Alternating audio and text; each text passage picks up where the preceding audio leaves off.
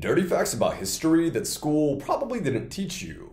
Part 16. Benjamin Franklin was a MILF hunter and would regularly encourage younger men to try out older women, significantly older women. The Welsh would often steal sheep from England, but this offense was punishable by death. The loophole to this was when they got caught, they said they were there to simply the sheep, which was considered less bad. Anne Frank's diary talked a lot about puberty and her personal experiences with her own female anatomy. It goes into significant detail, and her father had to go through and edit it all out. While gay sex was considered illegal in Britain in the 19th century, lesbian sex was not.